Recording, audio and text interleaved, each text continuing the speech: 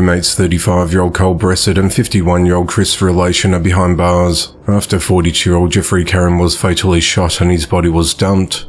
Authorities said that Cole and Jeffrey got into a dispute involving drugs on the 24th or the 25th of October. Chris allegedly helped Cole after the killing and did not contact police about it. At around 4.30pm on Friday the 27th of October, hunters contacted authorities after discovering a dead man's body in a remote area about a quarter of a mile off Gore Road in Plainfield, Vermont. He was found lying face down in a clearing, and there were burn marks and charring on and around the body. State troopers arrived at the scene and determined that the male died under suspicious circumstances. Authorities said there were multiple game cameras set up on the property, and the cameras showed a vehicle on the property early in the morning on the 25th of October. The vehicle was seen driving near the area where the body was found, and was seen leaving about 30 minutes later. Detective Sergeant Isaac Merriam of the Vermont State Police said that one of the photographs showed a fire in the area where the body was found. He said other members of law enforcement were showing photos from the scene and reported that the body may have been that of 42-year-old Jeffrey Karen due to his prior interactions with police, including a recent search warrant in Barre, Vermont where drugs were found. The medical examiner conducted an autopsy two days later and identified the victim as Jeffrey Karen, who died from a gunshot wound to his chest, and his death was ruled a homicide. Sergeant Merriam said that police spoke with Joni Bressett, Jeffrey's co-defendant, who's facing drug charges following the search warrant that was executed in Barre. Police said Joni had been selling drugs out of her apartment in North Barre Manor with Jeffrey's assistance. Joni said that Jeffrey and Chris appeared at her apartment on the 24th of October. She said she overheard the pair talking about robbing Cole of his drugs and money. Joni said that Chris and Cole lived together a few miles away in Berlin Mobile Home Park. Authorities said that surveillance footage showed Jeffrey and Chris arriving and then leaving in Joni's apartment on the 24th of October. The video showed the pair leaving in Joni's Nissan Rogue SUV, and Chris is then seen returning to the apartment alone in Joni's vehicle the next day. Investigators said that Joni's Nissan appeared to match the vehicle seen in the game camera footage in Plainfield. On the 27th of October, police located and seized Joni's vehicle and noted it had a significant amount of dried mud inside the wheel wells. Joni told authorities that several people had access to her vehicle since the 25th of October. Joni said she had access to Jeffrey's Facebook account and showed investigators messages between Jeffrey and Chris about drug transactions. While conducting a search of Joni's vehicle, blood was found on the rear passenger floorboard. On late Monday night on the 30th of October, police executed a search warrant at Chris and Cole's mobile home in Berlin. The pair were home at the time and were taken into custody after initially refusing commands of police. During an interview, Chris said he let Cole stay at his home and Cole paid him in crack cocaine, but he grew tired of the arrangement. Chris said that he no longer wanted Cole to live with him, but he and Jeffrey devised a plan to remove Cole from the home, taking his drugs and money in the process. Chris said that he lured Cole out of his home under the guise of a trip to Walmart, while Jeffrey snuck inside armed with a metal pipe awaiting their return. When Chris and Cole returned back at the mobile home, Jeffrey confronted Cole and during the altercation, Cole shot Jeffrey in the chest. Chris said he watched Jeffrey die, and Cole pointed the gun at him, telling him to keep his mouth shut. Chris told detectives that Cole then used Joni's vehicle to move Jeffrey's body, and Chris initially denied helping Cole move the body, but he later admitted to helping move Jeffrey's body to an area near the door. Chris said that Cole was alone when he drove with Jeffrey's body, and later returned about 3 or 4am in the morning, telling Chris that the matter had been taken care of and not to ask any questions. Chris admitted he sent Jeffrey a message on Facebook asking about his whereabouts, even though he knew Jeffrey was dead.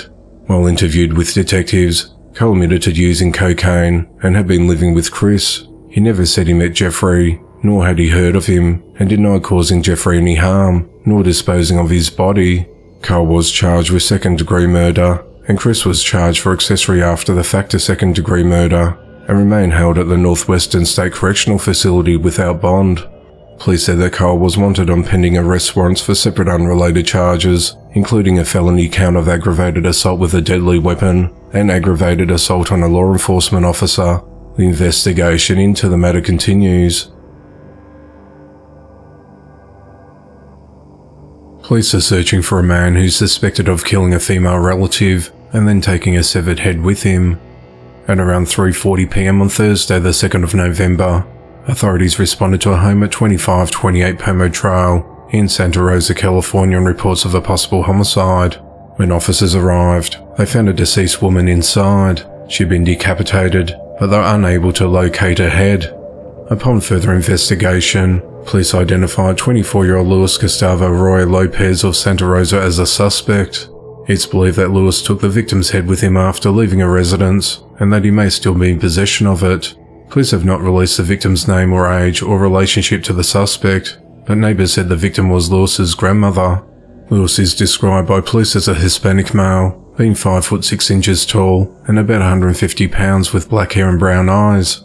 He was last seen wearing a black hooded sweatshirt or jacket, black pants and white shoes. He has the number 420 and a marijuana leaf tattoo on the left side of his head. Police believe he walked south on Iroquois Street after leaving the home. Police don't know where he intends to go next or if he has a vehicle. He has relatives in the San Joaquin Valley, but police don't know if he intends to go in that direction. He was recently released from state prison and placed on post-release community supervision.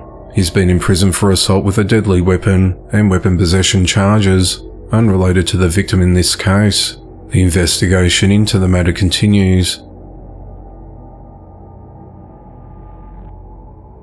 37-year-old Denise Amy Law fatally beat an elderly woman during a dispute about the suspect's boyfriend. At around 2.40pm on Thursday the 2nd of November, authorities responded to a property at 3532 Riverway Drive in Baton Rouge, Louisiana reports of an assault. When officers arrived, they found an unresponsive elderly woman outside on the ground with multiple severe injuries to her head and face. Medics transported her to a local hospital where she was pronounced dead.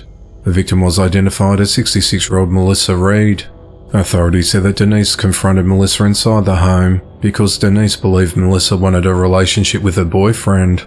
They argued and the dispute continued outside, where Denise hit Melissa with a metal walker.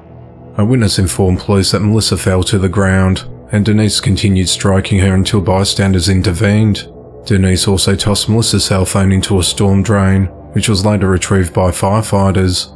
Police arrested Denise and charged her with first degree murder, and she's held at the East Baton Rouge Parish Prison. It's unclear how the suspect and the victim knew each other. The investigation into the matter continues. A 75 year old former teacher's aide of a private religious school in Tomah, Wisconsin, will spend the next decade behind bars for forcibly and repeatedly sexually abusing a teenage boy.